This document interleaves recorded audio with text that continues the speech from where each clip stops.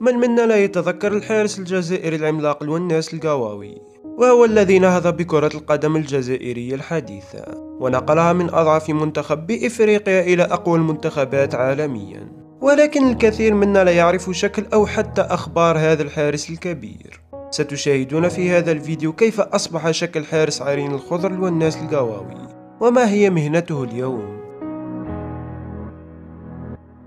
إخواني في الله أحتاج عشر ثواني فقط من وقتك. صلي على رسول الله صلى الله عليه وسلم. هل صليت؟ جيد. والآن قم بالاستغفار عشر مرات. الآن قد فزت بثواب. بسم الله لنبدأ الفيديو. سنة 1977 وفي يوم 28 سبتمبر ولد الحارس الكبير والناس القواوي.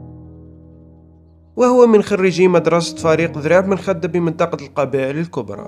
كما أنه لعب لفرق جزائرية عريقة كشبيبة القبائل ووداد تلمسان واتحاد عنابة وشباب قسنطينة.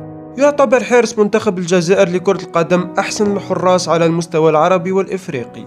طوله اليوم متر وثمانية وثمانون سنتيمتر. وهو في عمر الأربعة والأربعون سنة.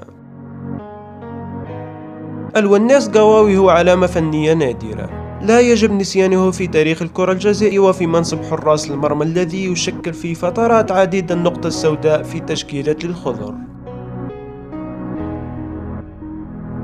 وعندما سافر إلى جنوب إفريقيا رفقة فوزي شاوشي ووهاب مبولحي للمشاركة في مونديال 2010 كان قد بلغ من العمر 32 سنة ونصف ولكنه لم ينعم بدقيقة لعب واحدة. وتبقى من النقاط السوداء في حياة هذا الحارس الكبير أنه لم يحترف لا في أوروبا ولا في الخليج العربي. وفضل اللعب في الجزائر من دون أن يستقر في فريق واحد.